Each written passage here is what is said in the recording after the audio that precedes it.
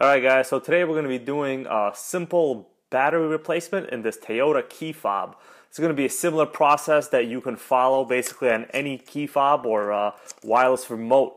This particular one is from my 2007 Toyota Prius and as you can see uh, usually there's a little bit of a LED indicator. So if I press the button you should see a little bit of a red light somewhere in this particular car. I'll just point out to it. It should be right here. As I press it, there's nothing. So you know that the, either the key fob is dead or the battery is dead. More or less, the battery will always be uh, low. So the first thing to do when you got your key fob is you want to take out the actual key. Here we have this little mechanism right here. Just slide it and the key should come out.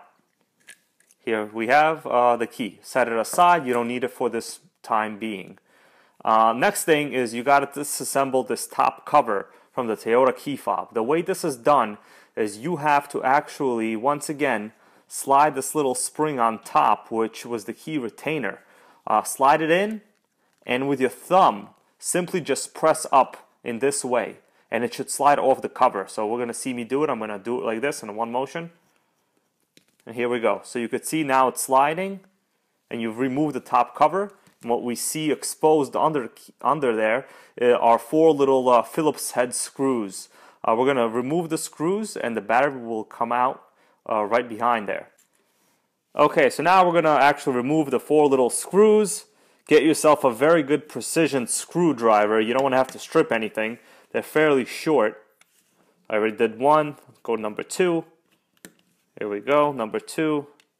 On number three, in terms of the battery that these remotes use, you could pick them up at basically any uh, any supermarket or any type of pharmacy. Obviously, you could also get it from your dealer.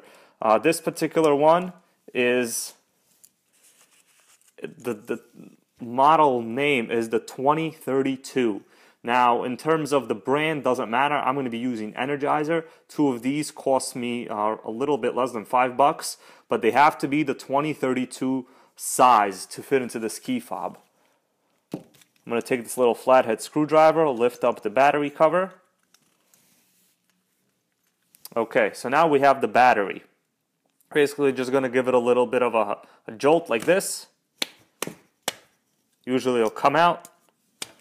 Here we go. We took it out, just set it to the side.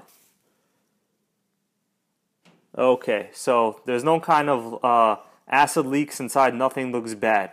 I'm going to take one of these batteries from here. Once again, the model number is 2032. You could see right there, guys, 2032. These batteries last uh, generally for about five years. The last time I replaced the battery uh, in this key fob was around five years ago. So this is what it looks like. The positive side up is this is the way you're going to be inserting it into the key fob. So we're going to watch me do it. Just basically slide it in and it'll self-locate.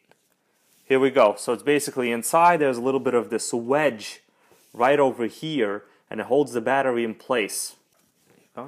Okay, so now we're going to do the reverse of the, of the process. We're going to attach back the cover, screw in all the screws, and give it a little bit of a test to see if the light goes on.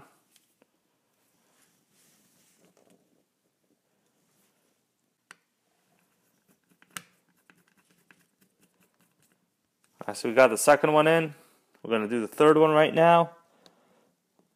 They're pretty small, so be careful with them. These key fobs are nearly a fortune if you have to get one programmed over to your car.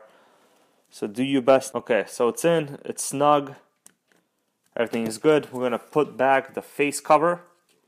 Basically just slide it in like so, and at the end, you could tell it doesn't click. We're going to once again press in this mechanism and put it all the way back. Put your key back. Alright. The key is back, it's all clipped in, and we're just going to check to see whether the little LED light over here is going to go on. So you could see that it is red now, it is active, and we know that this repair did fix the key fob and you have no serious issues.